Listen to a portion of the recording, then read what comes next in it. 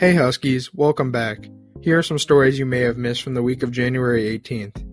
This week in sports, the men's basketball program paused all activities due to positive COVID 19 tests and contact tracing. With all team related activities paused, NIU's Tuesday home game against the Ohio University Bobcats was postponed. Saturday's home game against the University of Buffalo Bulls was also postponed.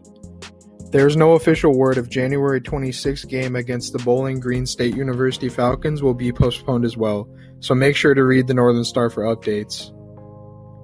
NIU Athletics announced Monday that the women's basketball team had a new opponent for its road trip Wednesday due to the COVID-19 pandemic. The University of Toledo Rockets hosted the Huskies at 4:30 Wednesday in Toledo for a contest previously scheduled for February 6th. The Toledo Rockets overtook the Huskies Wednesday, January 20th, breaking NIU's four-game winning streak, defeating us 67 to 62. In other news, after nearly two weeks, the puppy that was stolen from Tails Humane Society was returned safely January 21st. Tails shared their gratitude in a Facebook post. We cannot thank the DeKalb Police Department enough for their vigilance and partnership, the post reads. The officers on duty last night deserve all of the credit for her being returned.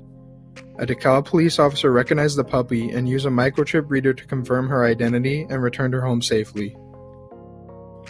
That's all for this week, Huskies. For more stories like this, make sure to check out northernstar.info.